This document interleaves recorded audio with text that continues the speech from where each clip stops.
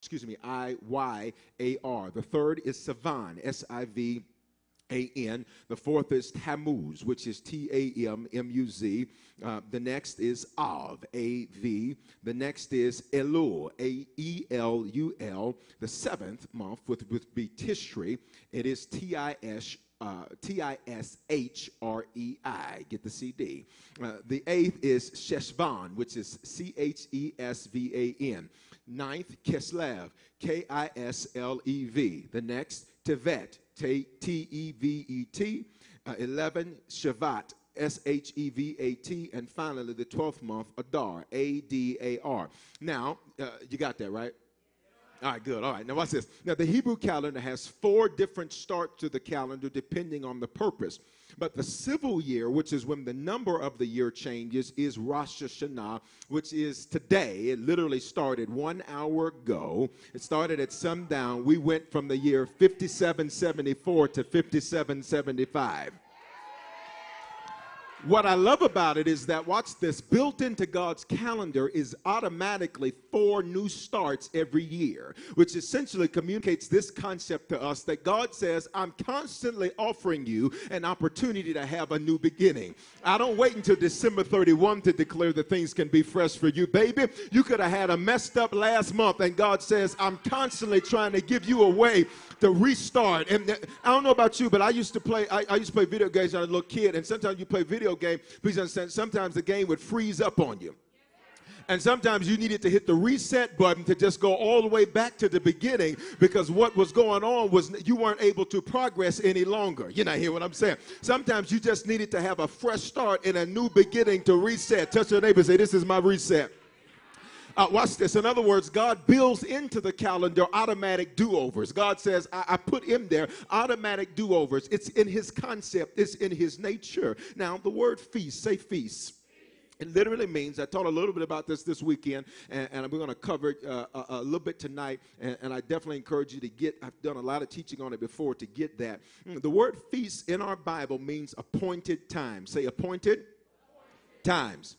Uh, now, watch this. That would be Hebrew. In the Greek, they would call it a kairos moment. It is now when heaven invades earth. It is almost as if time itself stops uh, quanti- quantitatively so that time qualitatively can enter. It is almost now uh, just like when Joshua prayed and told the sun to stand still, and the sun stood still while he had vengeance on his enemies. That was an appointed time. That was a kairos moment. In other words, watch this. God says, I've built in to the calendar seven major feasts. Say seven seven major feasts now that are appointed times or kairos moments when heaven is going to invade earth. Watch this. It, they are called holy convocations, which is a meeting between God and men. Watch this. Here's the difference God sets the meeting. Your prayer, your praise, and your worship sets an appointment with God, but a feast is an appointment that God sets with you. I'm going to say it again because you missed it. Your prayer, your praise, and your worship will set an appointment with God. But a feast or an appointed time or a kairos moment, it is an appointment that God sets with you. It's a big deal when the owner wants to meet with you. It's one thing when you want to meet with the owner, it's a whole nother situation when the owner says, I got something I want to discuss with you. Y'all not hearing what I'm saying. The concept was very simple. If you missed your appointment, another one wasn't scheduled until the next feast. It's very simple. God says, You show up on my calendar when I tell you to show up, how I tell you to show up, and then everything's good. You don't, well, then that's on you because I'm not, I'm not scheduling another meeting with you until the next feast. Which is why it's such a shame that some folk heard me this weekend and thought I was suggesting that they were here this on Wednesday. They missed an appointment that God. Okay, touch the neighbor say, but I didn't miss mine. Touch I didn't miss mine. Sure didn't, did not miss. But baby, I've been through too much hell to play with God. I got too much I'm trying to see manifest in my life to play with God. Church ain't something I go to. Baby, I am the church. When I step on the sea, He is my life. That's why they used to sing, He is the source of my strength, and He is the strength of my life. Touch your neighbor, say, He's my everything. Watch this. There are now seven major feasts. Now, all of the feasts point to Christ as the Messiah, or for the Jew, the Moshiach, as a way for the Jews to believe and to fulfill all things prophesied. Let me make that very clear.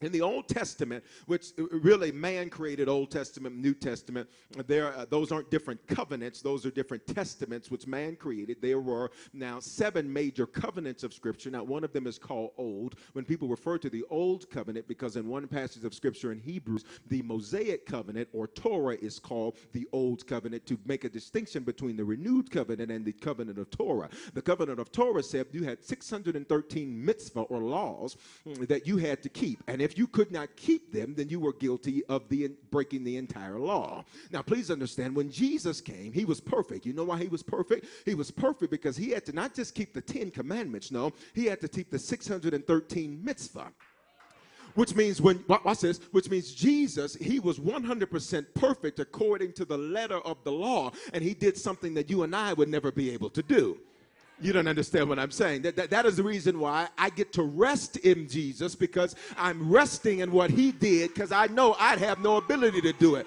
You're still trying to love your neighbor. Imagine trying to keep up with 613 different rules and regulations. So watch this now. Watch this. Y'all still here. Uh, so now watch this. Uh, in the Old Testament, uh, you saw many patterns that would point to the coming of Jesus the Christ, the Theanthropos, the God man. So much man you could not believe he was God. So much God you could not believe he was man. He was literally Emmanuel. He was God wrapped in a body. Son of a man means he was born of a woman. Son of God means he was God in the flesh. Are you still here? So now watch this. When we see this type and pattern. So the feast, the seven major feasts are established in the Old Testament that point to Jesus and reveal Jesus in the New Testament. Now watch this. Since the feasts are fulfilled in the Messiah or Jesus the Christ, anyone that is in Christ is presented with the same opportunity that a Hebrew or a Jewish person would be presented with to have an appointment or a meeting with God. That's all I'm trying to get you understand. Which means the blessing of the feast don't just apply to the Hebrews, but to anybody that's in Christ. Now, say seven. Seven is the biblical number of completion. So we see this picture of entering into God's rest. What is God's rest? It is another word God uses called shalom, which means nothing missing, nothing broken, nothing lacking, all is well. They call it peace. So watch this now. When we see seven, what we're really seeing is the rest of God. Watch this, or the peace of God. So now, with this particular feast that we're in, uh, uh, as, I, as I reveal this to you tonight, I need you to see that God set this up so that if you follow His schedule and follow His calendar, you wouldn't lack peace. T- touch your neighbor and say, I will never lack peace another day of my life. Now, we just use never, and I'm not a fan of using never, but God makes this promise on His own. Y'all not hearing so, so, so just for the sake of the atmosphere, let's just go on and modify it. Say, touch your neighbor, say, it is not my plan to lack peace another day of my life. All right, watch this now. There were four spring feasts, four spring feasts, and I'm going to move expeditiously through these, so get the CD. And look at God, I call it a CD. Four spring feasts. It's been a tape for the last eight years. All right, Passover. Uh, say Passover.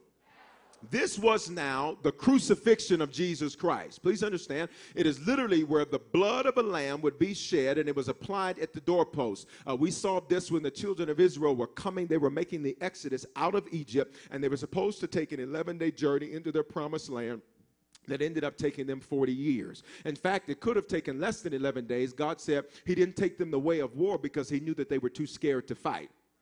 Are there some things that God says you could have actually had that last year? I just knew you weren't going to fight for it. Uh, please understand, everybody wants to be great, but not everybody wants to face great battles. Please understand, if you're going to be a king, you're going to have to face the battles that a king faces. If you're going to be, if you're going to be, watch this, an eagle, you're going to have to deal with the level of issues that the eagle deals with. If you want to be a CEO, you're going to have to deal with the level of issue the CEO deals with. You know the purpose of the CEO to deal with the problems that everybody under him could not fix. Now, now watch this. Watch this. Touch your neighbor. Say, I can fight. Tell, tell him, say, there's a fighter in me. Uh, uh so watch this now. Watch, watch this. God, he could have took them a shorter way. They didn't go that way because he said he knew they were, they were going to be scared to fight. So when they came out of Egypt, it was during the Passover. Say the Passover. Now, please understand, uh, them applying the blood of a spotless lamb. Please understand, that's why Jesus was perfect, which means he was spotless. He had no blemish. Say he was perfect. He was spotless. So now watch this. When his blood, watch it, in the Old Testament, they would have applied the blood to the doorpost. Watch this. In the New Testament, his blood went on a wooden cross.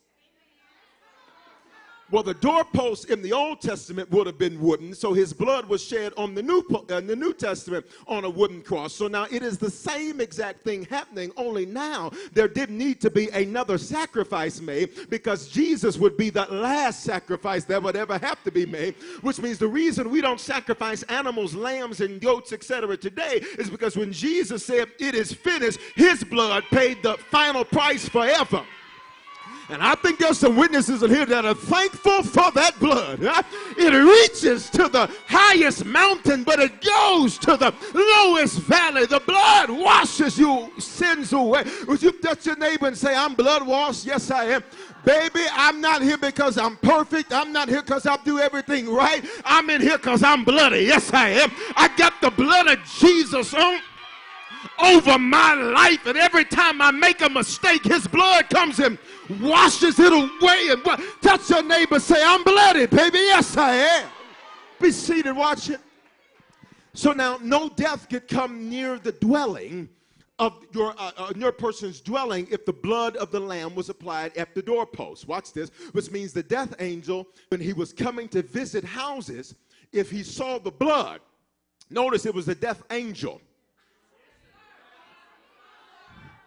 If I had time, I'd work that like a part time job. It was the death angel, not the devil, not a demon. It was the death angel, which means it's some stuff God says, I'll kill it if you won't. Okay, yeah, yeah, yeah, yeah, yeah, yeah, yeah, y'all don't want to say nothing to me. So watch this now, watch this. So the death angel, when he saw the blood, he had to keep it moving. Which is the reason why, after all the hell you've been through, and you should be dead and you should be in an insane asylum somewhere. The death angel looked at your life, but he saw the blood. Somebody shout, Thank you for the blood. That's why you're still standing. That's why you're still in your right mind. That's why you keep bouncing back over and over and over again because of the blood. Be seated. Watch this. So no death could come nigh thy dwelling. Now watch this. That was Passover. So the death angel, when he saw the blood on the doorpost, and for you and I, it's our lives. When he sees it, he has to pass over. Hence the feast of Passover. Now, following that would be the feast of unleavened bread. The feast of unleavened bread. We're talking about the first four that are in springtime. Now, watch this leaven had to be removed from the homes of God's people. Now, uh, leaven uh, for uh, uh cooking and bread, etc., uh, would, would, would, if you put, think of it like this. Let me give you this example. If you put a little yeast in bread, what's going to happen? So, what happens is the scripture says in the Feast of Unleavened Bread, they could not eat any bread that had leaven or that had risen. Watch this or had yeast in the analogy we use. Watch this. Because leaven had a spiritual meaning, it meant evil or error. So God made them remove it literally so they would be able to do it spiritually. Sometimes there's stuff I have you do in church, like I'll say, take a step or do this and do that, because I need you to see yourself do it literally so you'll be able to do it spiritually. What was wrong with them eating yeast in the bread? Nothing. God said, But I just need you to see what it looks like for you to do that in the spirit. So, in other words, he said, I need you to remove your evil, I need you to remove your error. Mm-hmm, mm-hmm. Now, now, now, now, now, now, watch this, watch this. Because Jesus was perfect, spotless, without blemish, this also meant he had no leaven. He had no evil, and he had no error. Everything he did was right, and if it wasn't right when he did it, it became right because he is. That's why the scripture says God can't lie. You know why he can't lie? Because if he says that something is, it becomes whatever he says it is. So it's very clear your shirt is yellow, son. But please understand if God says it's blue, your shirt will then become blue, or blue will now be called what yellow was will now be called blue. God says, I can't lie. Whatever I say, it is. So if I just declare that this is that, then this is that. If that is this, then that is this, because I cannot lie, which means I don't say that it's different than what it is. When I say that it's something different, it becomes what I said it is. Now, watch this. Jesus had no leaven, he had no error, he had no evil. now, this is why, watch this, Jesus' body did not decay. He got up before his body would have had an opportunity to decay, and he was sanctified or set apart. Watch this. Because there was no evil or leaven in him. Watch this. Now, following the feast of Passover, only unleavened bread could be eaten seven days following Passover. Now, th- this simply represented getting evil and error out of your life. Got it? Now, this, uh, uh, uh, uh well, don't have time to deal with that. We'll, we'll, we'll do that another time. All right? Well, maybe not.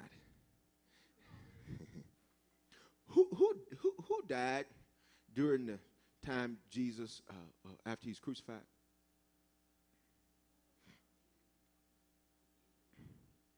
Judas. Passover. He became the, the sacrifice, he became the lamb. And following the death of Jesus, evil had to die. that's why if you look around the time of Passover, which which the next feast I'm getting ready to get up today, Jesus got it, which will be around Easter. If you look around that time in your life, it'll be some stuff that will just die. Think back to Easter this year. Think around them few weeks before, them few weeks after. There's some stuff that just stone cold Steve Austin just. Because God said, watch this, I got an appointment with you. And if they ain't for you, they got to go. All right, let me move on. Let me move on. Let me move on. let me leave that alone. So, so the third one would be the Feast of First Fruits. So we got Passover. That would be Christ's crucifixion. Unleavened bread, he was the unleavened bread. And evil had to be put away. Oh man, I wish I could work that EB and put away thing. Okay. Then the third was the Feast of what? What is it? All right. This would be what we call in, in Gregorian calendar, we call it Easter, which is really man made. Uh, Resurrection Sunday, but really the appropriate name is the Feast of First Fruits. It is Christ's resurrection. Got it? And I've taught on this before. Jesus didn't die on Friday. People say Good Friday. They just can't count. That's a shame. The whole doggone church of Jesus Christ can't count. Talking about on Friday, wasn't it bad? and all day Saturday, but ah, one Sunday morning. You can't count. That ain't no enough time. Three days and three nights ain't Friday to Sunday morning.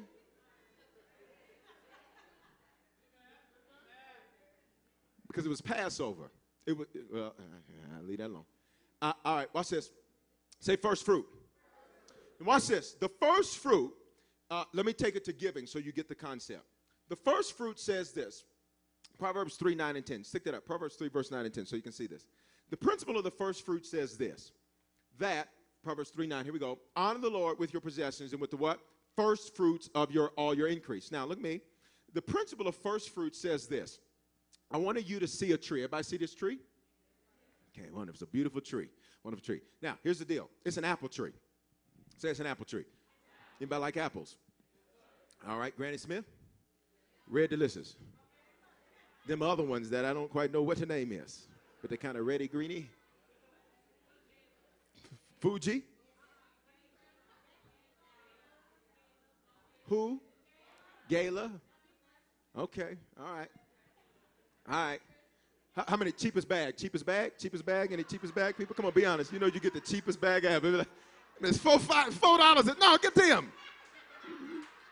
Putting no five dollars on no apples. Ain't even gonna eat them. Everybody see the tree? It's an apple tree, whatever your apple is, whether it's the cheapest bag or red delicious or whatever. Now, here's the principle of first fruits. It's a biblical principle. The principle of first fruit says that first apple that falls off the tree, God says, if that first one is holy or distinct, or if it's sanctified, or if it's blessed, because it's the first fruit, by default, every other apple fall off this tree is the same as the first fruit. So when Jesus got up on the feast of first fruits, he was a guarantee that the rest of the harvest, call you and I, if he's blessed, if he's the head and not the tail, because if the first fruit is, then all of the harvest is. Be seated. Watch this. If the first fruit is, then all the harvest is. But the first fruit was also, not only did it sanctify uh, the rest of the harvest and make the rest of the harvest the same as it, but it also, watch this, was a guarantee for the remainder of the crop. That's why Jesus, uh, uh, the Apostle Paul, makes a statement like this. He says, For little is the will of God that all men would be saved. Why does he say that? Because we know that since Christ was the first fruit, that Christ then desires that everybody that would come uh, subsequent him would know him. Why? Because he's a guarantee that the rest is going to be harvested which means you got some family. I'm going to help somebody that you've been praying for for years. and it don't look like they're ever going to get their act together. I got news for you, baby. They don't have a say in the matter because the first fruit got up. And since he got up, it's only a matter of time before the Holy Ghost. Somebody shout Holy Ghost. It's only a matter of time for the Holy Ghost throws the reel and says, Come here, boy. You ain't finna act like that no more. Come here, little girl. Get up out of that bed. Come up out of that club. Put that pipe down. He's gonna ensure that they have an opportunity to be introduced to him. That's how you got here. You didn't pick him, he picked you. The first fruit said, I got up, now you get up. The first fruit says, I'm holy, now you be holy. The so watch now. We had the feast of Passover, the feast of unleavened bread, the feast of first fruits. Now, here's the fourth one. That's the spring one. Then we're going to get to the fall ones, and we'll get to where we're at tonight. Uh, the, the, ne- the last one of the spring ones was the Feast of Weeks. Feast of Weeks. Now, you might be saying, Bishop, I've never heard this stuff. Exactly. Because because what, what happened is, is the Roman Catholic Church, when they, when they hijacked Christianity uh, some 2,000 years ago, Christ, uh, Rome, Catholic just means universal, so it became the Roman Universalism, and, and, and, and there were some good things that came from that. Cause, because because they're, they they decided that they need to have one leader. You can't have all these 15 different leaders and all this. is crazy. So there were some good things that came out of that. What also happened, though, is, is that in an effort to break itself from Judaism, some, some of the very tenets and the foundational principles that the early Christians practiced some of those things got lost because Christianity tried to have its own identity. Parents, it's just like your children who the truth is they used to sit up, lay in your bed, not because they 13 years old. Now they tell my mama, don't be coming up to the school and walking all in front of you and all this. Well, it wasn't like that a little bit ago. But now they're trying to have their own identity. That's why some of you need to just learn how to, you need to learn how to love your kids. Show them, this is what you mean. When they say, Mama, don't come up in my school, you need to show up in your rollers and show up in your house coat and just scoot on in there. Just scoot on in there. What you what's my boy doing? Now I'm joking. Don't do that to your. The whole student section just got completely silent. Do not do that to your to your young people. Don't do that. Do not do. No, no yeses. Do not do that. But all I'm saying is, if they start tripping, sometimes you have to meet the level of foolishness.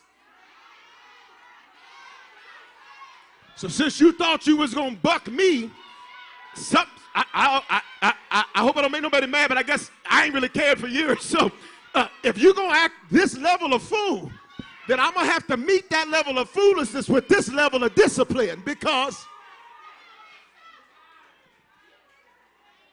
They cussed you out and you gave them time out. That's not the match. That don't match. That don't match. You still don't know where they're at, and you just sitting here telling, "Oh, I love it." All right, let me leave it alone. Uh, yeah. What was it? What was it? huh. all right. What's this? So the point I was trying to make, though, the point I was trying to make, no, love your kids, treat them right. Don't be two different people at church and at home. That's see, see some parents think, oh, you know, it's funny when people think, oh, my kids are at church a lot. No, they like church. What they don't like is the two different yous. Now, students, y'all better help me. Don't leave me out here. It's one you at church, and then it's another you in the car. And their issue is, is they think them two different people is how God is. And so they don't trust God because they think he's double-minded and two-faced it like you. See, equal opportunity. I got both sides. Now, watch this. Say Feast of Weeks. I wasn't trying to even talk about that. I, I, what I was trying to say is Christianity some, tried to have its own identity. So some of the very fundamental things that were quintessential and germane to the Christian experience, amen, amen, that were germane to the Christian experience, uh, sometimes got a little lost in translation. Now watch this. The Feast of Weeks is also known as the Feast of Shavuot. S H A V O U T, Shavuot. It is also known as the Feast of Harvest, our namesake, Harvest. It is also known as, you know this one, the Day of Pentecost. Penti, the prefix meaning five, five oh, 50. Now, the Feast of Weeks, it was a festive time when people from different countries would come to Jerusalem, and it was a celebration. Say celebration. That's why the Pentecostal or charismatic expression of Christianity uh, charismatic just means believing in the gifts of the Spirit. Pentecostal, believing in the baptism of the Spirit. It, uh, uh please understand, that's why it's very celebratory. Please understand, uh, we, we, we, are a non-denominational church, but but we are a church that believes in the gifts and in the baptism of the Holy Ghost. It's why some of you maybe came from churches where you just sat and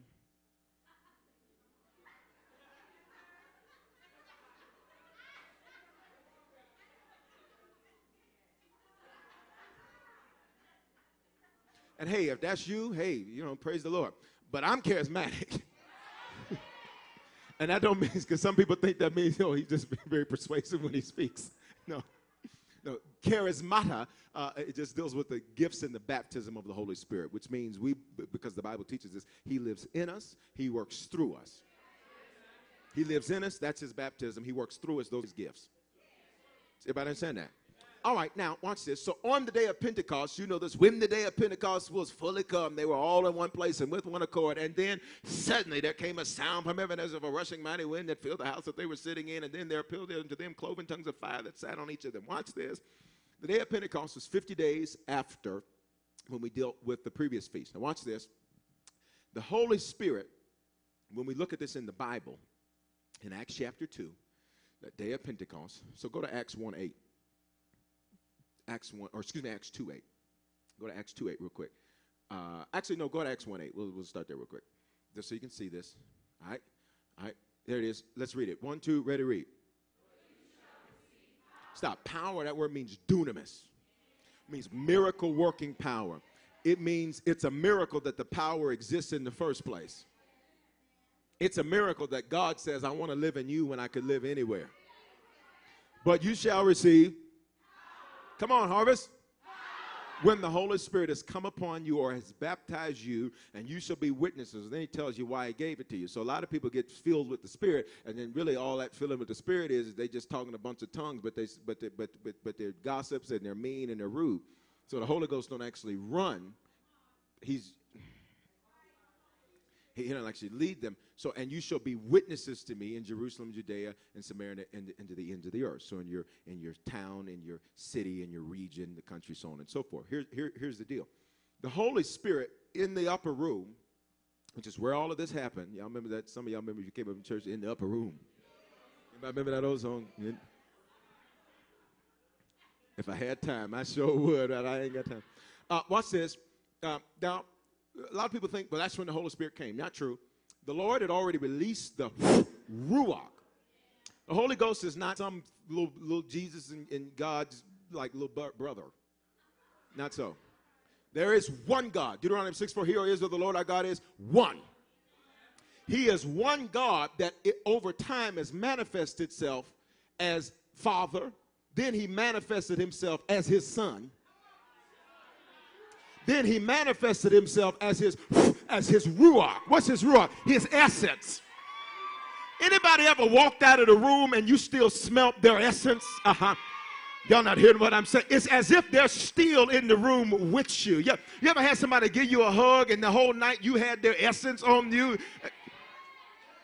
Don't act like that. So it is the it is the ruach, it is the breath of God. That's the Holy Spirit. He's not some other third guy. There's not people who pray, oh, I pray to the Holy Spirit. That's not the way Jesus said to pray. You're out of order, you're out of line. You okay, it's just out of order, you're out of line. How he said pray, pray the way he said pray. Now, watch this. Watch this.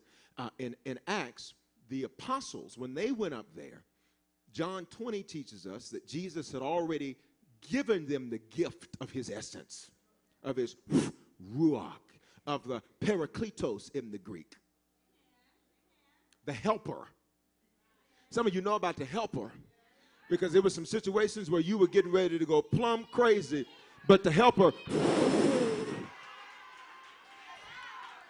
What the folk that's thankful for the helper? What the folk that's Jesus? I was gonna act crazy over that, but the the Holy Ghost just So watch this now. Be seated. Watch this now. So watch this. The Holy Spirit had already baptized the leadership, the apostles, and so on the day of Pentecost, he baptized the fellowship, if you will, um, because the leadership needed to have it before the fellowship could have it. Got it? Fellowship is a harvest word. He's followers. Feast of Weeks, Shavuot, day of Pentecost. Everybody got it? Now, there are three fall feasts. Three fall feasts. Y'all still with me?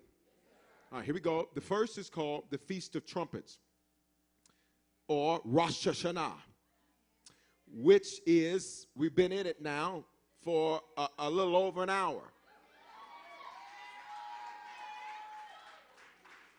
Now, I'm going to come back to this one last because that's where we are today. So I just want you to have it. So for my note takers, you can have it in the place in your notes. I'm going to come back to this one last, but I want to go ahead and move to the last two, and then we're going to come back to the Feast of Trumpets or Rosh Hashanah. All right? So the next one is called the Day of Atonement or Yom Kippur. Or depending on where you're from, Yom Kippur. Note takers, Yom. Y O M K I P P U R. Two separate words. Now, um, the, the, Day of Atonement uh, is a very interesting day because essentially what God said, the new year started the civil year started. Remember, there are four different starts of the Hebrew calendar. The civil year started at Rosh Hashanah, the Feast of Trumpets, where trumpets here is just the best translation they had for the ram's horn. They, they weren't blowing trumpets, they were blowing the ram's horn. There was a time in Scripture where they blew trumpets, but that was to celebrate a new moon. Okay? Uh, uh, uh, the, the resetting of the sun and the moon. All right, now, now, now, now watch this. Say Day of Atonement.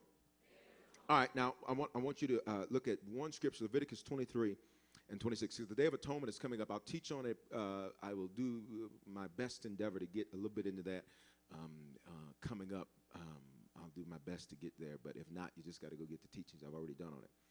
Now, say Day of Atonement. Here, here was essence. God said, when the new year sounds, I want you to spend the first part of that year fixing what messed up your last one.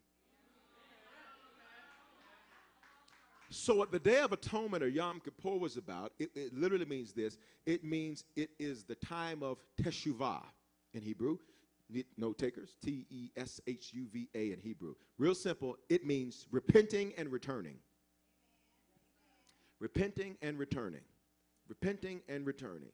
So, what happened during this time of this Day of Atonement, what happened is, is that God said he, he, he wanted them to have a time where they put to end all feuds they put to end all disputes. They put to end all foolishness. It was over. Following the Feast of Trumpets, there were what were called 10 days of awe, which led into the Day of Atonement. And in those 10 days of awe, God said, Every person you ain't forgiven, you got 10 days to get it done. Say, every person you still see and want to cuss, you got 10 days to release that profanity. Not to them,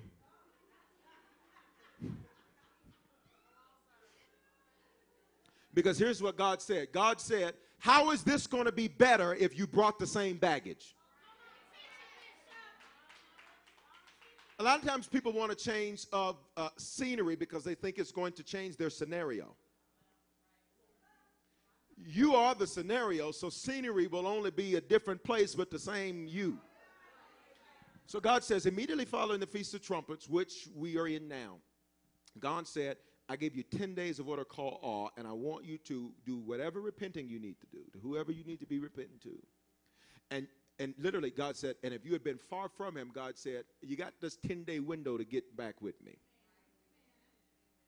Okay, now this is very this is very important. Now, I know some people think, well, I've never heard it before. That's just it. That's why people just operated all kinds of crazy cycles in life because we broke from His calendar and went to our own.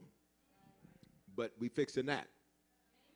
All right. So here's what happens on the Day of Atonement. I'm just going to give you some basic things. Uh, we fast. And the Day of Atonement this year is actually on October uh, the uh, 4th. What's that first Saturday in uh, October?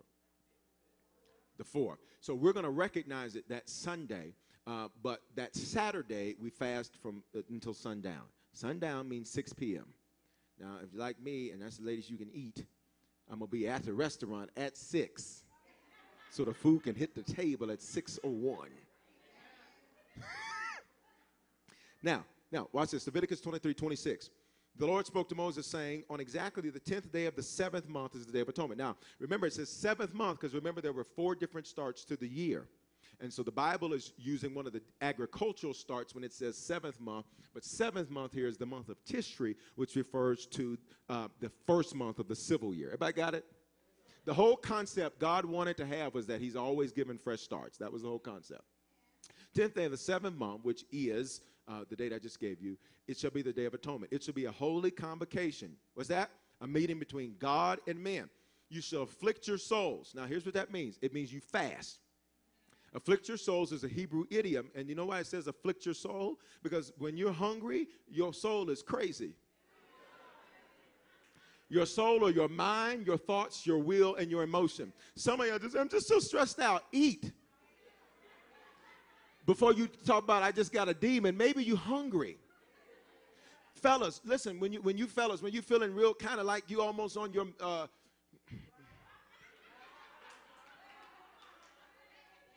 maybe you just need to have a sandwich. so verse, here it is. So when it says afflict your souls, it literally means you shall fast. So you fast that Saturday, sun, sundown. Everybody got that? Okay, so that is that October the 4th. We fast from sunup to sundown. Okay, now let me be clear what sunup means because some people are going to try to, well, you know, it was 345 when I had that sandwich. So for midnight on Friday till 6 p.m.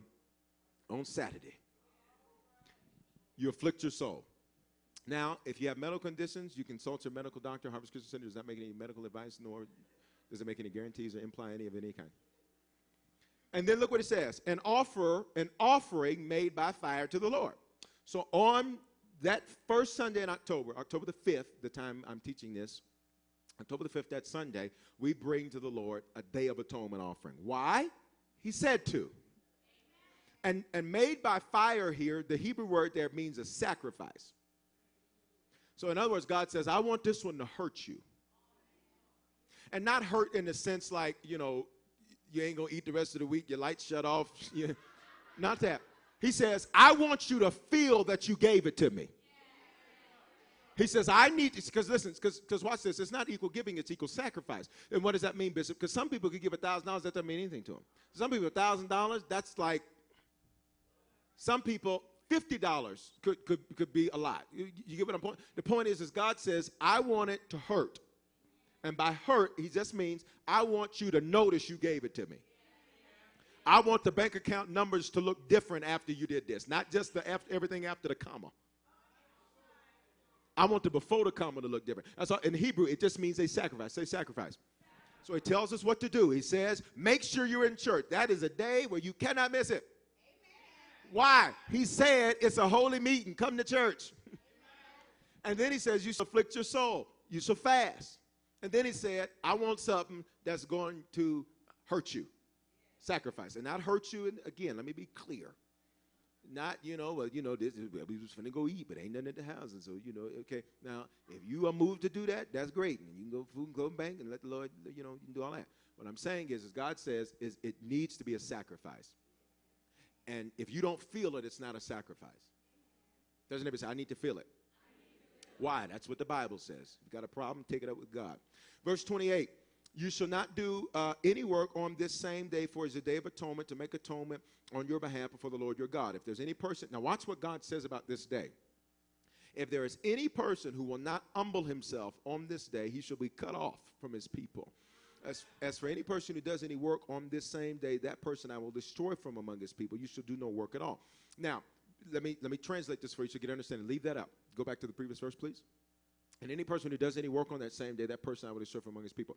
What God's point was was that uh, because they were limited, the Hebrews could only have a Sabbath, which was one day. Got it?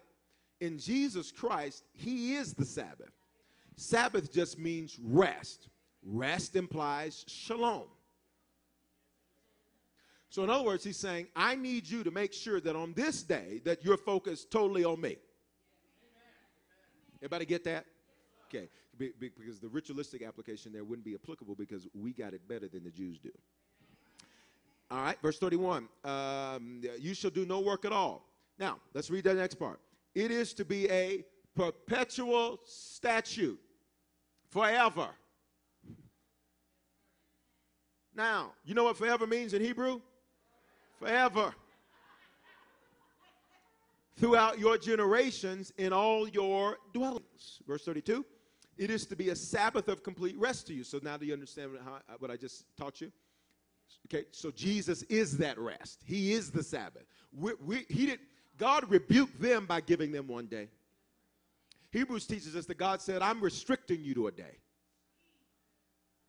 For those who believe in Jesus Christ, every day is that day.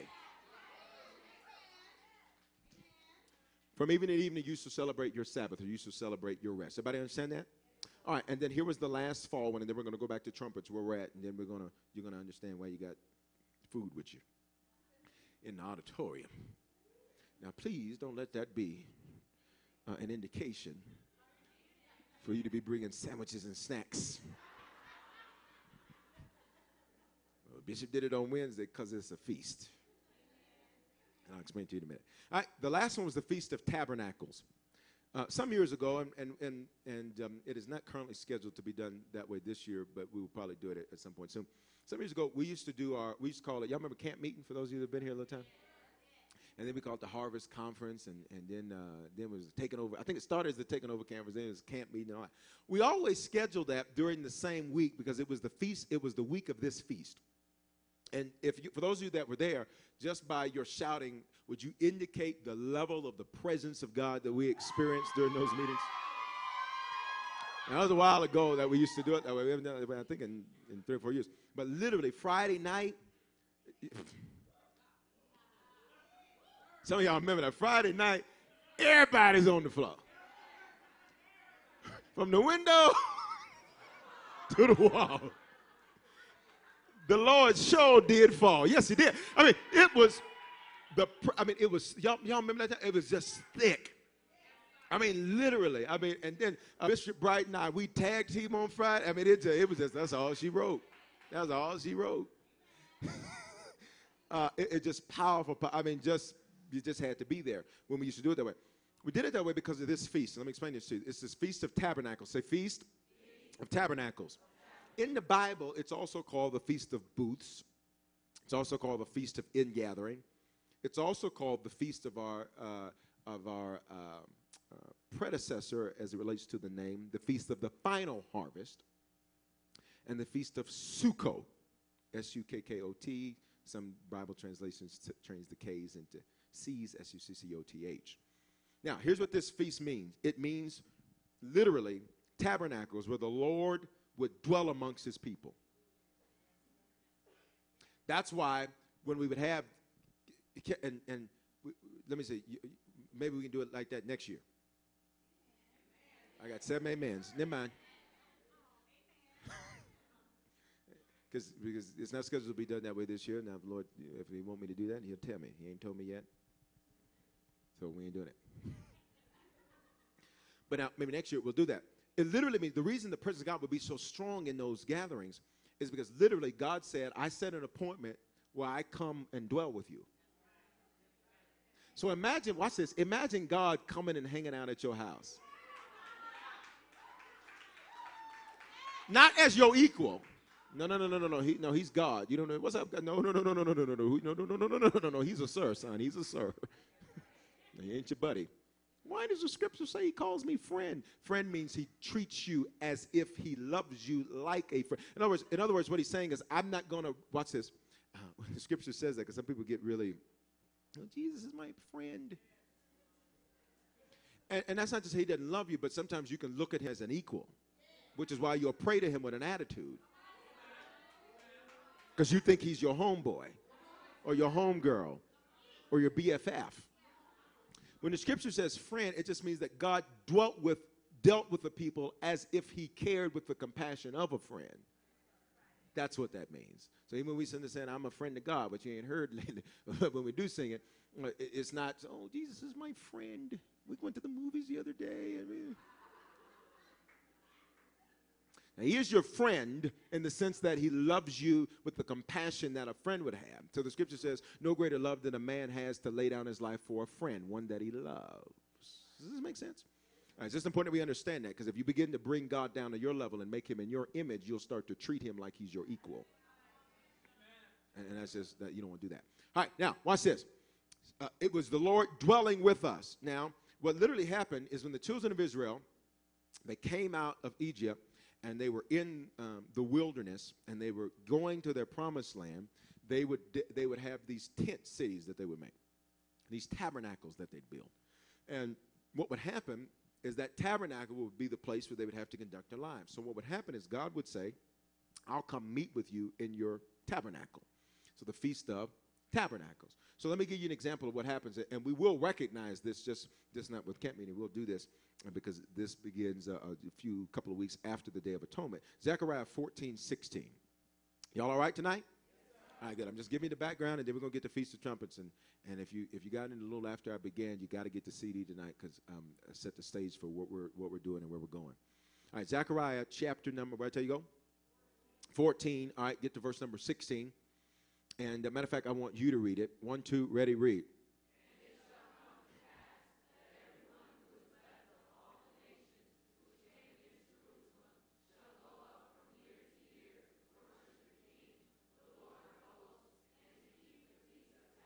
Keep going.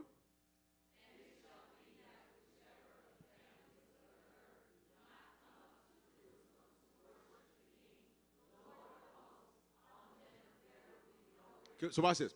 The, the, Feast of Tabernacles was when God made judgment concerning rain for your life. All right? So God says, You can choose not to honor me. I just don't ask me to do nothing. All right, verse 18. If the family of Egypt will not come up and enter in, they shall have no rain. They shall receive the plague which the Lord strikes the nations who do not come up to keep the Feast of Tabernacles. This shall be the punishment of Egypt and the punishment of all the nations that do not come up to keep the Feast of Tabernacles. So I'll teach you more about that as we go. So the, the three fall ones the first one was Rosh Hashanah, Feast of Trumpets. Second one was Day of Atonement or Yom Kippur. The third one all right, now let's go back to where we are today, which is the Feast of Trumpets. For my note takers, I hope I didn't get you too disoriented, but I wanted us to end with where we are today. All right, now watch this. What would happen on Rosh Hashanah or the Feast of Trumpets, watch this, is that the ram's horn would be blown. Now, uh, blowing, uh, which was called a shofar, say shofar. Blowing the shofar in the Hebrew culture was a very distinct sound. It was only used when there was a very important announcement that needed to be made to the people. Literally, the people, they could be doing whatever they were doing. But if they heard the shofar, they dropped what they were doing and they came and they came, watch this, in order to hear the message. So, in other words, the disorder that was in the environment and in the atmosphere immediately had to end because the ram's horn was an announcement something very important is getting to be said. How do we know it's important? Because they alerted everybody. If it was something that was uh, of a menial nature, they could have simply went to the individual and sent a message by way of an individual to another individual. They didn't do that. They would blow the shofar. So shofar declared that order had to come. Say, order, order. is coming in my life. You know what disease is? Disorder. Something's out of order. You know what mental sickness is? Disorder. Something's out of order. You know what lacking your finances is? Disorder. Something's out of order. Because when the order of God is there, you have more than enough. The scripture says, and he makes my cup run over. So if you got lack in your finances, that's because something is out of order. But the good news is you at church on the right night at the right time. Because your God, 5,775 years ago, he said, I'm setting up a meeting with y'all, and the meeting is, you didn't call it with me, I called it with you. And the meeting is the ram's horn. Whatever is out of order, I'm announcing to you, it is coming into. I said it is coming into order. Watch this. Watch, watch this. Watch this. Watch this. Watch this. Yeah, the, the, the Feast of Trumpets, or Rosh Hashanah, uh, is called the Day of Judgment. Because on this day, the trajectory of the next year, he decides on. This is why I wish the week this weekend they really would have heard me, but that's all right, because your year. And for those that are watching online, yo year. Literally, it was the day where judgment was issued concerning the next year. Essentially, God pulled the records and said, Who's here? Who put me first? Who loves me? Who fought through the traffic? Who didn't care if they, who, who, who, who brushed those tears back? Who, who, who let go of that depression? Who, who, who, who said, I will not be stopped from putting my God first. Bring up the records because I'm going to make some judgments. Now, no, no, watch this, watch this, watch this, watch this, watch this. Literally, the trajectory of the new year was set. Now, there were 10 days of awe, as I told you, following the Feast of Trumpets, leading into the Day of Atonement. Now, during this time, it was to be a time of prayer. But say prayer. So, in just a moment, we're going to pray. And again, if you weren't here at the very beginning of the teaching, please, please, please get the CD. If you've been here for the whole thing, please, please, please get the CD. It's for your own good. Uh, consecration, say consecration. Uh, consecration means setting oneself apart. All right, so this, th- these next 10 days is not the time for you to have a bunch of cav- casual conversations everybody. And, and please understand, this is going to be the time where the past is going to try to call. So don't be shocked if the past calls and tries to show up. All right, watch this. Watch this. Because uh, because judgment is being made. So if you can get distracted with some stuff from this previous year, all right. And it was a time of we already discussed the Day of Atonement of fasting, which you'll do uh, that Day of Atonement, and there was also a time of repentance, which you've already talked about. Repenting means to turn from, change your mind. Say, I changed my mind. See, a lot of times folk think repentance, they just think of sin, you know. So if you, you do this, you know, repent, stop doing that. And that's one level of it. But repentance is really about changing your mind. You, you know what? The, the scripture says it's going to be difficult for you to sin against somebody you love. You know how folk fight one another? Be, be, be, because they, they don't actually love one another. Now, you know why they don't love one another? Because they don't love themselves. Jesus says, and you shall love your neighbor as yourself. Which means, watch this, you can't give somebody what you don't give you. So when we talk about repentance, it's literally changing your mind. Jesus, his first message was repent for the kingdom of heaven is at hand. The kingdom is at hand. What was he saying? Jesus was saying, change your mind. He said, the way y'all been thinking is jacked up. He said, change your mind. You have met somebody, especially as you've been coming to harvest for a while and your thinking is changing, your mind is changing, and then you talk to them and, and you're like, yo, you what? It, come on. And, and, you, and, you're like, we used to be real cool, but now your, your mind is jacked up. And I'm we used to be best friends, and I used to want to go everywhere with you. Now I can't even stand you because your mind is jacked up. And you sit here talking about this little yin yang whack whack stuff over here. Man, I'm trying to do something with my life. I ain't been through all the hell I've been through to just sit up and pay bills and die. I'm trying to do something with my life. I'm the head and not the tail, and you sitting here happy being the tail. Jesus said, he said, he, he was saying, your mind is jacked up. Please understand. Please understand. When there's a clashing of the mind, somebody's wins. When there's a clashing of the mind, somebody's is going to prevail. Now, you just need to ensure that it is the mind of Christ that is in you that prevails. Because you start telling me, oh, you just going to church. I don't believe in all that. I believe I can have a private relationship. But you can believe what you want to believe. That ain't what the Bible says. I don't have to believe in, in gravity. Get up on this building after you sign that waiver. And actually go down to the next one and jump off that one. And jump. You don't have to believe in your belief in something does not invalidate or, or, or, or validate it. Just like people, see, some of y'all getting on me, so and so don't like me. Their not liking of you does not invalidate or validate you. So when people have a problem with you, message, that's their problem with you. That ain't my problem with me.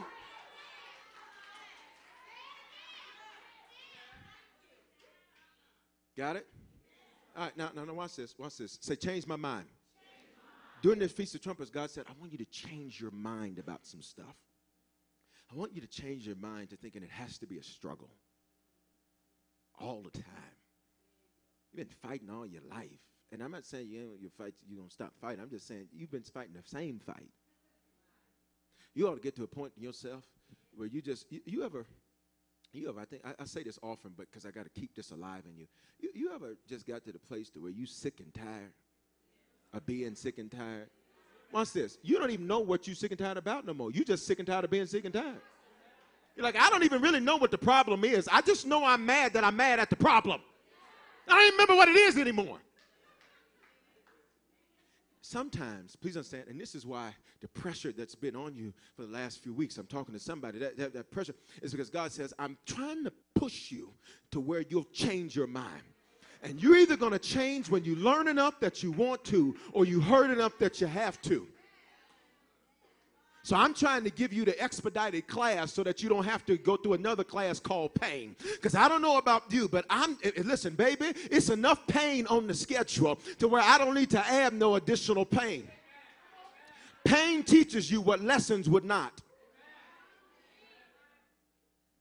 Somebody tell you all day long that so and so ain't good for you, so and so ain't good for you, so and so ain't good for you. Okay, until they cheat you, beat you up, knock you out, then you'll get it.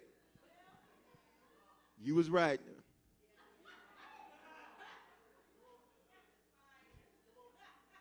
People tell me, Bishop, just tell me what's going on. Just tell me what's going on. I said, well, for what? You don't really want to listen? Now, some people got hip to the game and they're like, no, Bishop, tell me. I'm like, okay, ABC. My season is shifting, Bishop. I just think the Lord is. so I just like, go through pain then. Pain will teach you. Pain will do what you won't allow your pastor to do. Move on for a minute. Numbers 29 1. And in the seventh month, on the first day of the month, you should have a holy convocation. Now remember, this is talking the agricultural uh, day. So first day of the month of the seventh month is really the first day of the civil year, which is Rosh Hashanah. Everybody got it? All right, all right, all right, all right. So you should have a holy convocation. What we doing tonight? Having a holy convocation. You should do no customary work. For you, it is a day of the blowing of the trumpets or the shofar. So we've obeyed the first part of the instruction, right? He said, On this day, you shall come to church. Well, we obeyed that part. All right, now let me show you some more. And then, then we're going to shout, and then you'll understand what this apple and honey is about. Uh, Leviticus 23 24. Leviticus 23 24. Y'all still with me, Harvest? All right, come on, we got to move. Uh, here it is, verse. Speak to the children of Israel, saying, In the seventh month, Tishri, on the first day, which is just started at sundown, all right, you shall have a Sabbath rest. Now remember, when we see that in Scripture, it's for us, it's referring to what? Jesus. A memorial of blowing of trumpets, ram's horn, shofar, a holy convocation. Now, in other words, look, look, look, look at it again. You shall have a Sabbath rest. In other words, he says, I need you tonight to be reminded that you are resting in me. And everything you're trying to set up and figure out and calculate, that's good. But just get your I am back. Because over the last year, you lost your I am. Bishop, what do you mean I lost my I am? He said to Moses, Can I preach now? He said to Moses, He said, Moses, uh, Moses asked the Lord, He said, Lord, who shall I say sit in? We don't know your name. We just know that we worship you, but you are the God with no name. So God says, I'll tell you what my name is. My name is I am, which means everything that you say with following the words I am is as if God Himself is saying it. So some of you over the last year, because life has been coming at you every day, you lost your I am. You lost your won't He make a way. You lost your God is you lost your God is able because you started looking at your ability. God says, Tonight, I need you to be reminded that I am the God of the impossible. I am the God of the supernatural. I am the God that can take one up and put another down. And I need somebody in here to get your I am packed. But, but I, I, God says, I need you to rest in me how you used to rest in me. You didn't used to be stressed out like that. You didn't used to cry about what you're crying about now. Get your I am back. Somebody shout, I am. He said, I need you to remember I made you, not you yourself. You didn't get yourself that job. You ain't that qualified. It ain't because of who you knew. It was because I decided to favor you. And what God opens a door for you, no man can shut that door. I wish you'd shout out, I am. Seated. He says, I need you to get your I am back said, I need you to remember that you're rested in me. And as long as you're trying to figure it out in your own strength and with your own ability, that's why it looks so hard. Because you're sitting up here trying to connive and calculate. And God said, Get your Sabbath back. Get your rest in me back. Get, remember, remember when you didn't really know you weren't let learn, you, and so you used to just say, "I'm trusting God." You didn't even really know what you meant, but you said it. Y'all ain't gonna say nothing to me tonight. I'm almost through. Watch your neighbor. Touch your neighbor. He getting ready to close. Yes, sir. Uh, watch this. Remember we used to say stuff like, "Well, the Lord's gonna do it,"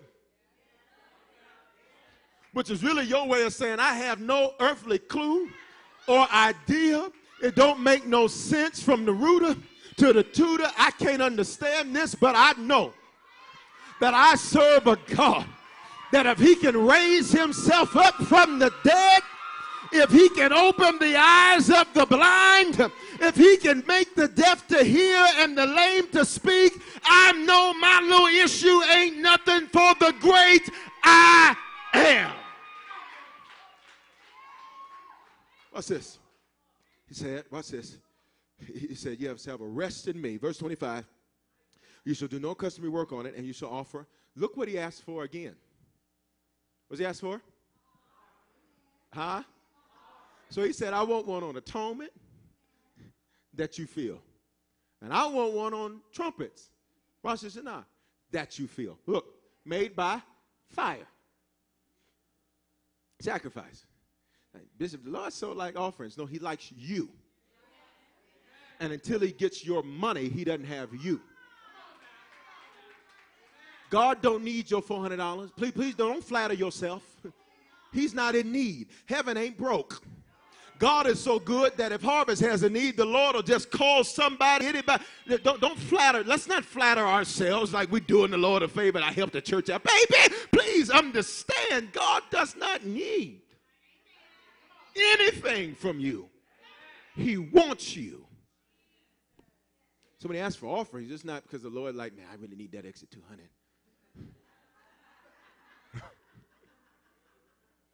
Get this new internet thing going. I really, I'm gonna need that. I'm gonna need that 200 from you. No, go and break it off. Break it up.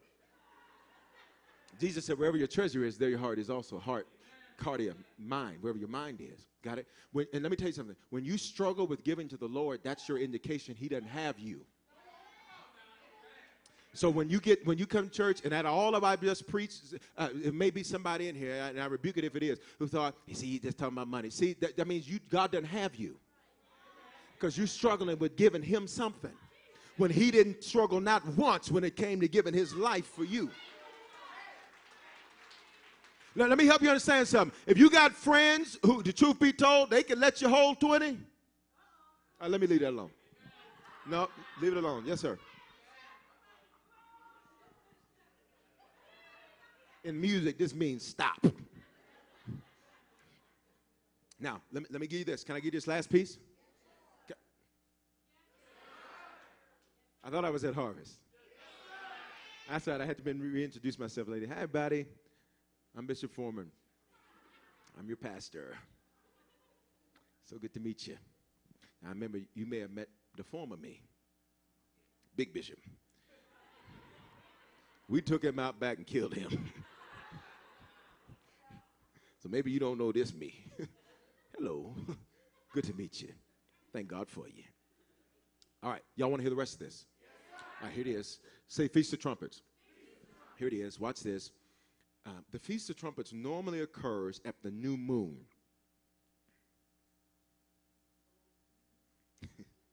All right, uh, okay. I, I thought y'all wanted some revelation, but only the slightest crescent can be visible. Watch this. However, throughout this feast, clouds could obscure the moon, and witnesses were required, which means you had to be watchful to know that the feast had begun. So the rabbis later added, the Jewish teachers, a second day to this feast to make sure the people didn't miss it. Watch this. This need for watchfulness and preparedness in connection with the Feast of Trumpets is echoed and re echoed throughout the New Testament in connection, watch this, with the Lord's return to the earth. You, can, can I take you here? Because you got people talking about, oh, it's wars and rumors of wars and these last and evil days. Okay, listen. Peter was preaching last days, so you need to come up with something new to preach. Okay, the last days. Peter said, we don't know the day nor the hour, but we do know the feast. We don't know the day or the hour the Lord is going to crack the sky, but we do know the feast he's going to crack the sky. Trumpets. Okay, let me, let me, no, no, no, watch this. Listen to this again. The need for watchfulness and preparedness in connection with the Feast of Trumpets is echoed and re echoed throughout the New Testament in connection with the Lord's coming. Matthew 24 42. There's several verses I can show you. I just want to show you one verse. I want you to see this because, in essence, the, the essence of it was that if, if you slept on it or you weren't watching for it, you'd miss it. Matthew 24 42, verse. Watch, therefore, for you do not know what hour your Lord is coming. Now, you remember the scripture when it would talk about, I, won't go to the verses for the sake of brevity and the sake of time. The scripture would say, "In that day, two will be in the field, and one will one will come." Woman, remember that talking about that, and people said, "Oh, you got to just stay out of sin because you might be in sin. You might be drinking that liquor when the Lord comes back, and He's gonna leave you." Some of y'all remember that? Come on, you if you came up in church that tells you that. All right, you know, okay. Here's the deal: they they they, they weren't necessarily completely uh, inaccurate; they were just incomplete. Here's what would happen: the Feast of Trumpets is believed in Midrash by the Jews that this would be the trumpet, or this the, the feast rather, when the Lord will return. Bishop, why are you telling us this? Because I'm going to tie it back around, and we're going to shout and make it a, put a nice bow on it. Watch this. When the scripture would say one would be taken, one would not, it's because one would see that the time changed and respond to the call of the shofar, while one would not. Matthew 24 40, here it is two, uh, then two men be in the field, one be taken the other left. Well, how is this so? Because when the Lord, watch this, let's connect it. When the Lord would set his appointment called a feast, one would honor it, and the other would think it ain't no big deal to not be here. So, what he would say is, is that watch this what he would say is is that one would be taken one would one would remain uh, one would be caught up one would not so on and so forth. Watch this why would he say that? He said that because uh, no i do not want to do a second cd he said that because watch this touch your name say you got to get it. And i'm not doing no second one. Watch this be seated. I'm almost through.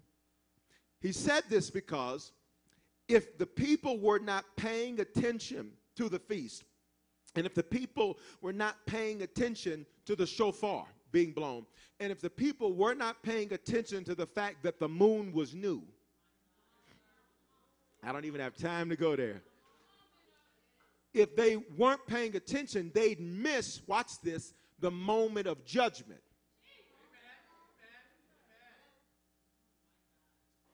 Okay, now if, if you're like, huh? I, I taught on it a lot before, so just to get some of the previous teachings, I taught on a lot before. Here's what I'm trying to get you to see. Say, say, say this. Say tonight. tonight. It, is it is my night. my night. Watch this. You kept the holy convocation.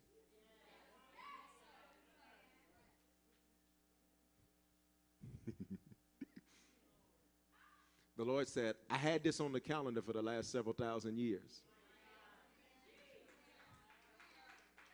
So, harvest, God says, I wanted to come to the appointment. And God says, I'm so glad to see you at the appointment because I'm about to make judgment concerning the rest of your year. So, Bishop, why do we have this? Hebrews around the world right now are doing what we're about to do.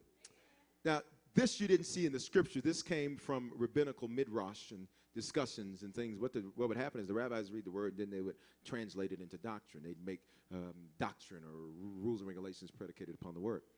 Jews around the world tonight have honey, and that's what's at the bottom of this, and, and they have apples. Now, you know why? Because what Jews are doing is, is what we're getting ready to do in just a moment. Don't do it yet because don't get that honey on all them seats.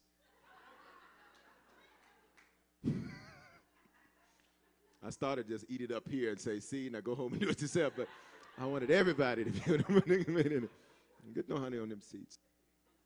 You stain it, you buy it. No, I'm, I'm just being facetious. I'm just joking. You know why they're doing this? Because they know that tonight, Yahweh,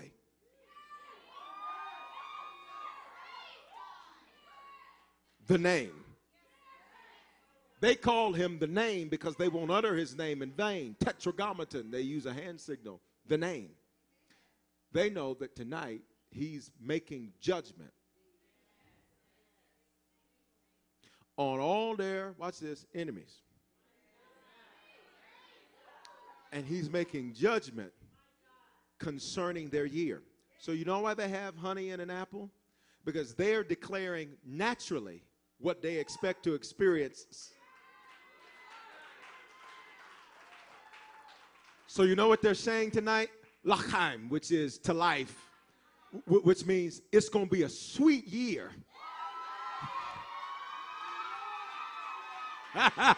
if you can't get with that, you don't speak the King's English, and it's cool. Tonight they're saying our King is making judgment in our favor, and this year, I don't care what happened last year. I don't care what I cried about. I don't care what I was bitter about last year, but this year, somebody shout, this year, it's going to be sweet.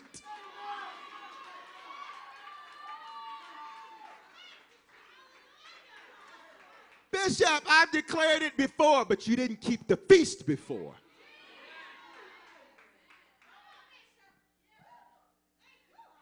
Around the world, they are declaring it's going to be a sweet year. You, know why? I'm out of time, so y'all, y'all go ahead and stop here. Everybody stand real quick. Uh, do, you, do you know why Israel isn't really worried about all the enemies they have? You know, they got a lot of enemies. They got Al Qaeda. They got ISIS. Where'd she come from? I mean, she brand new. Like, where was she when we were fighting the other war? Couldn't we have got them at the same time? Somebody else that they announced, some other new group in, in some other. You know why Israel's like, oh, really? Now Israel's in rebellion. They're in rebellion because Messiah has come and they're rejecting him. But you know why they're not really worried? They're not worried because they know that tonight was coming. And they knew that tonight they were going to hold their holy convocation. And in fact, the rabbis extended it through Friday. They, they were going to have their holy convocation, and they knew that tonight they were going to tell every enemy, oh, you don't like us? Well, you're going to bomb us? Oh, really? Um,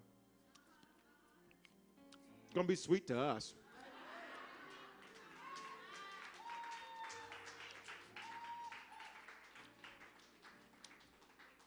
Oh, you're going to take the car, huh? Oh, really?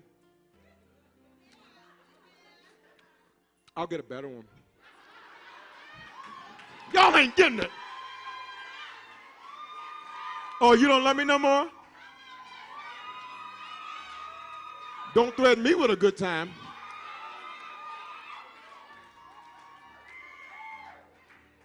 This other one kind of slippery. Doctor says, we don't know what we're going to do. Oh, really?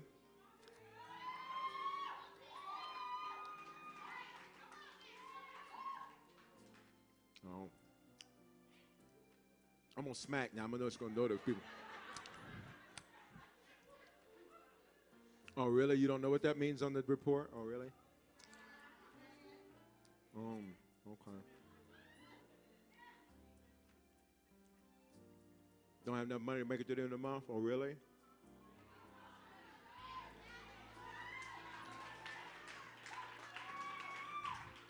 Because your God and your King is making judgment tonight about this next 12 months. So if I was you, I'd take your cup. And if you're watching online or Roku or one of the sites, go get you some apples and some honey. You ain't got apples and honey, just go on and uh, rig it up real quick and get you some Nabisco crackers and some syrup. get you some grapes, get you some. Now watch this. Don't, don't do it yet because I'm going to bless it. Father, in the name that is above every name, we've honored your word tonight we have kept the holy convocation. And Father, we are going to offer you an offering in a moment, but Father, tonight we declare that judgment is made in our favor concerning this year. And I declare that this year 5775 that we just stepped into a couple of years ago, a couple of hours ago, that this year would be a sweet year for your people that have honored your word. Whatever made them bitter last year, gone in the name of Jesus. Whatever sicknesses or illness that tried to come against them, gone in the name of Jesus. Whatever lack tried to come into their lives, gone in the name of Jesus. Judgment is made in the favor of your people concerning this year. And I bless now this apple and this honey just as a symbol of what your people around the world are doing, saying it's going to be sweet. Now you say this, say in the name of Jesus, I declare that this year, this spiritual year, which just started, is going to be a sweet year. I will look at every tough circumstance and remind myself of what I'm getting ready to do. I'm doing it in the natural, so it's sealed in the spirit. Sweet year. Sweet year. Unexpected breakthroughs. Unexpected increase. Unexpected favor. Yes, sir. Say it just like that. Yes, sir. This is a kairos moment. Heaven is invading earth now. Now, while you're eating, they're going to play the ram's horn again while you're eating, and you just eat. Now, I want you to think about think about every all the hell over these last 12 months, and just know that this is going to be sweet. While you're doing that, they're going to play the ram's horn while you're eating. Go on and, and, and, and eat and receive that. Declare it's going to be sweet. Now, let's don't eat it because you're trying to help me eat and get you a sandwich. All this here. This ain't no meal. This is symbolic. Hallelujah. Hallelujah. Come on, ram's horn. Amen.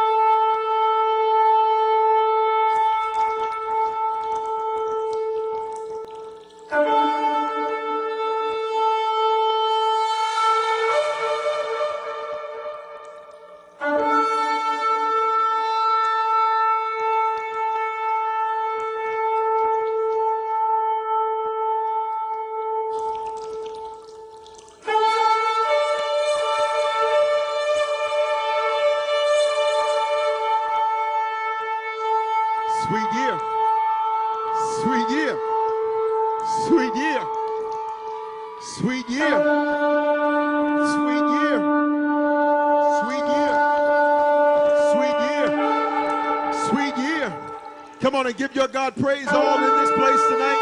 Let it continue to play. Give your God praise all in this place tonight. Come on, lift up your voice like a shofar tonight. Do it. I said, do it.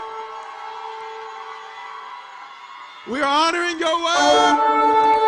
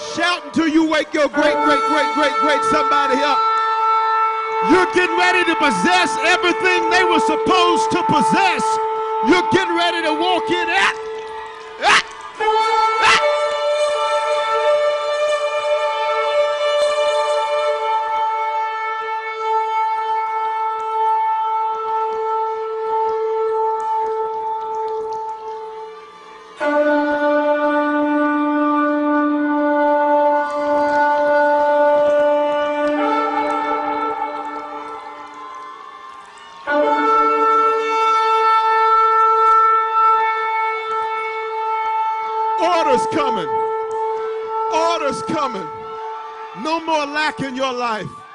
Orders coming. Orders coming. Orders coming.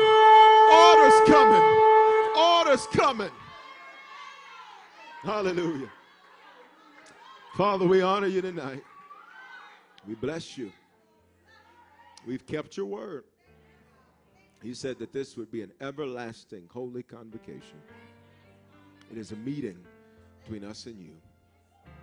So we honor you tonight. So we honor you tonight, Jesus.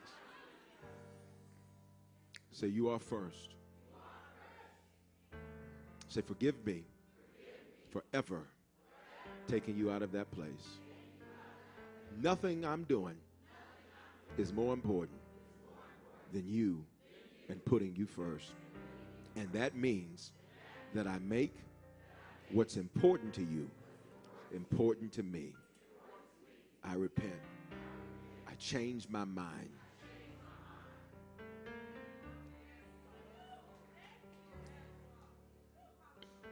Hear me with your heads bowed and eyes closed. Hear me. Tonight, on this day that the Lord makes judgment concerning this next year, there were 10 days following this, that these days of awe that I've taught you about already tonight, where God says, I want you to repent, and return, repent, and return. And so tonight, somebody, you can do that tonight. You can repent. And that repentance is not just with the Lord, it's with people that you have dishonored that were due honor.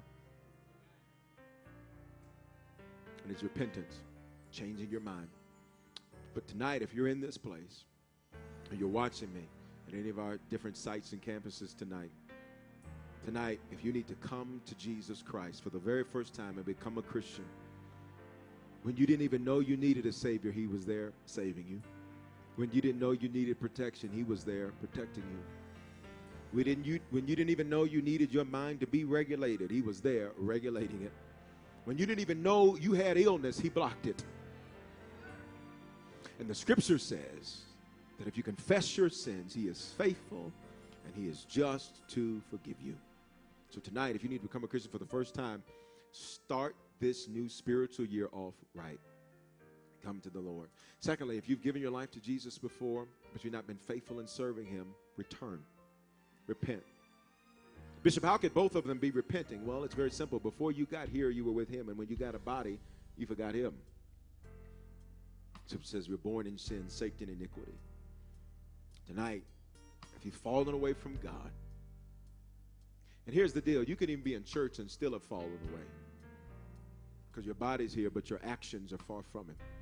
Jesus said, many people would say in that day, Lord, Lord, Lord. And he said, their mouths were real close to me, but their hearts, their minds weren't. Let's be honest, we've all done it. So, not beating nobody up. We've all done it. We've all dipped out on God, hoping that He wouldn't see our absence, not realizing that He leaves the 99 to go to the one because He's paid a price for us. So, tonight, start your teshuvah. And the first two calls I'm going to make is if you need to give your life to Jesus Christ for the first time, and become a Christian. He died for your sins so you get an abundant life.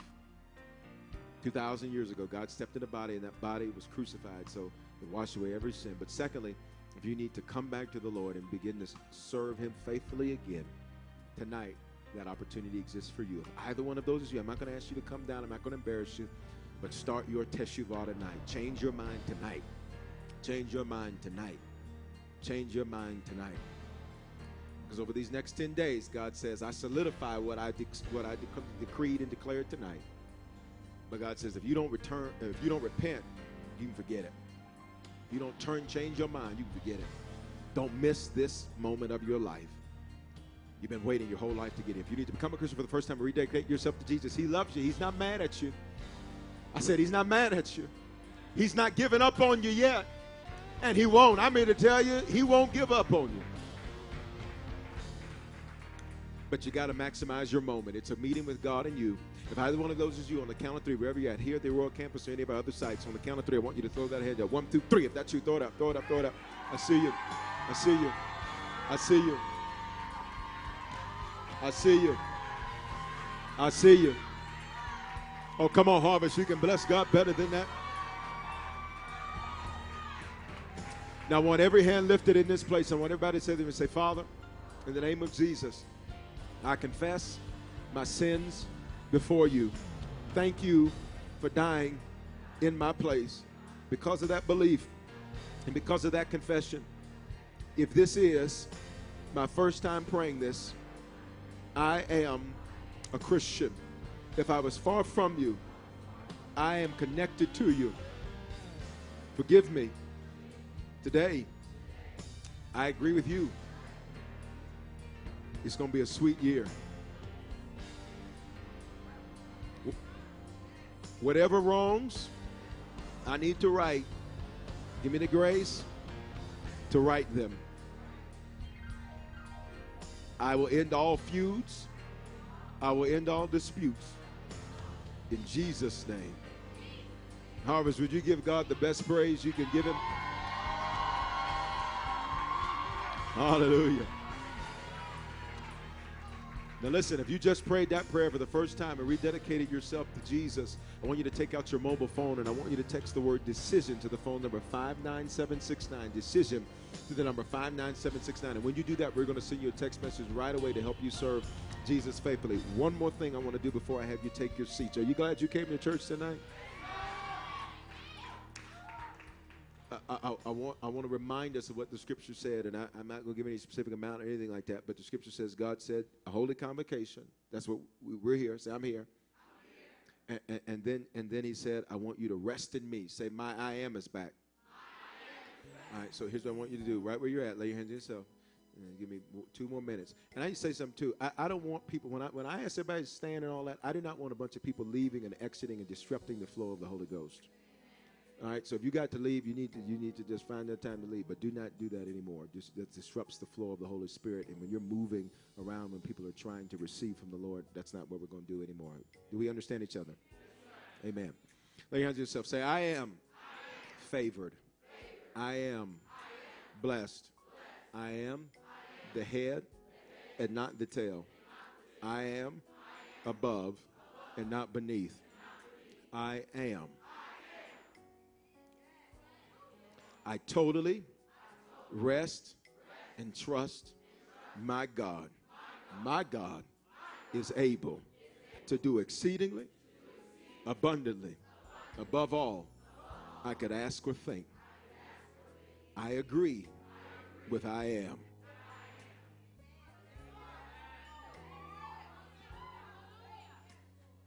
I rest in him. He is my source. He pays my bills.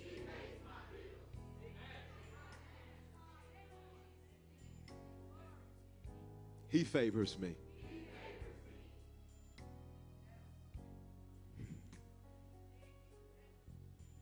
I'm irresistible to my enemies.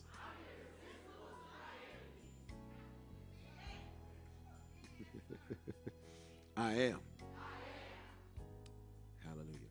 Third thing he said, Leviticus 23 27, he said, Bring him an offering made by fire. I'm not going to have you bring it to the altar. I just want to remind you what the scripture says. He says, Do something that's a sacrifice. Whatever that is for you, you do it. We're going to receive it in a moment. I'm not giving you an amount. Whatever's a sacrifice for you is a sacrifice for you. If you don't want to give, you, you, you, do, you do whatever it is you want to do. It's my responsibility to tell you what he told you to do. Amen. It's going to be a sweet year. Millionaires are going to rise up out of this congregation. Politicians are going to rise up out of this congregation.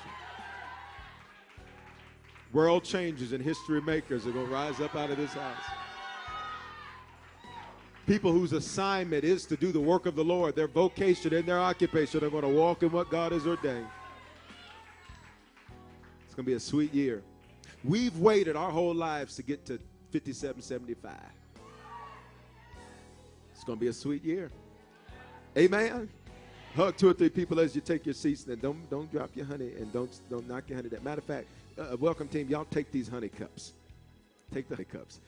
Amen. Hug your neighbor on your left and right, and the welcome team's going to take your honey cup and let's see what's going on at your campus this week. Amen.